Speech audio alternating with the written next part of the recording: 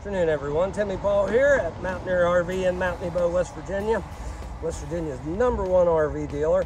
And today we're going to be taking a look at a 2025 176 BH Hideout. This puppy's 21 foot 1 inches long, 3,500 pounds empty. Great entry level camper. Got your propane tanks up here. We'll give you a battery. Rock chip guard. Around here you can actually add some more solar. It's prepped for solar up top and you got your pass through here and uh, you know fishing poles whatnot. This one's actually equipped with a slide out. You can see your rain gutter guards up top. I'll be on both sides of the camper. And around back here got your um, power cord actually pulls out and then retracts which is pretty cool. You got your freshwater connect city water connect and Really easy to get to your black and your gray tanks down here. Easy access. And the really cool thing about this unit is it comes equipped with the endless hot water. So you just set it to whatever temperature you want and away you go and take you a warm shower. And got the satellite hook up here and spare tire. And this unit actually prepped for a backup camera. So you could add one of those if you so desired. As you come around here, you can see pretty good size awning. It um, comes out, LED lights, and um, this one is ready for solar. And got your inverted outlet here, a little bit wet.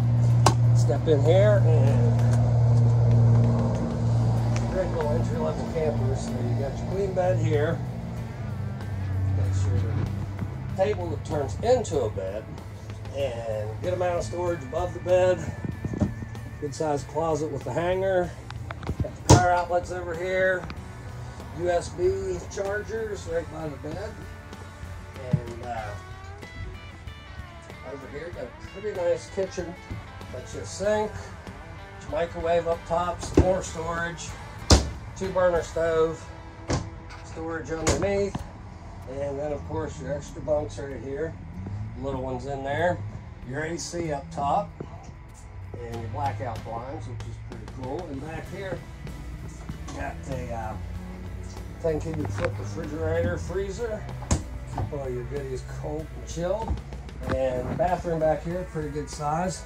Got your um, controls for your water heater, so you just set the uh, temperature to whatever you want, your sink, your bassinet, and a good sized shower with a skylight.